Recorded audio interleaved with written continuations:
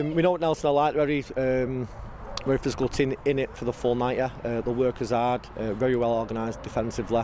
Uh, it was just a matter of us trying to move the ball quickly and try and break them down. Um, we played them in the league here and it was one all.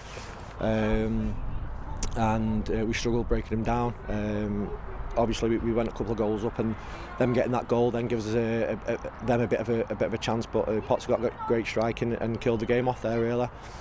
We're not prioritising league cups or anything like that. Take, it's a bit corny and it's a bit cliche. We take one game at a time. Um, and we've, we've got a very big squad so we're very easily uh, easy to rotate the squad and we're replacing quality with quality um, so no we're not prioritising anything two semi-finals and uh, like I said second in the league with that so we're, we're very happy with that so you came up from the Manchester Premier League last season you've adapted really well to this league uh, have you exceeded expectations um, yeah possibly when you when you look when you look at it like that you know a Manchester League team coming up um, doing as well as we're doing. But we have belief in the squad, the players that we're signing, um, and yeah, we, you know we're flying at the moment, and, and, the, and the spirit in the camp's good. Um, and you know every, game we, we feel like we can we can win, and it's we're, we're riding across the wave at the moment. It's good. So you've got a very solid squad at the moment, but are you always on the lookout for new players?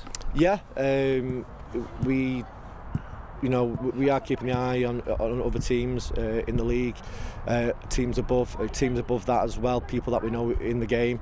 If they're not featuring for other clubs and stuff like that, we will have a word and stuff like that. But you know, very happy with the squad that we've got at the moment, um, and you know, like I said, we're flying. So um, if one comes available, we'll do it. Uh, if not, you know, re really happy with the squad. So you could potentially get promoted once again. You'd move up to the Northwest Counties Premier Division. Uh, do you think if you did move into that league, you'd be more than able to compete in it? Yeah, um, uh, if you look at the, the, the players in the squad, um, all experienced at this level uh, and higher levels as well.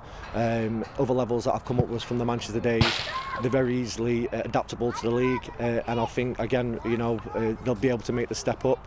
Uh, we might need to sign um, one or two to, to add to the strength of the squad, someone who um, of our experience at that level. But yeah, um, I think we're more than happy to, to do ourselves justice and proud in that, in that league.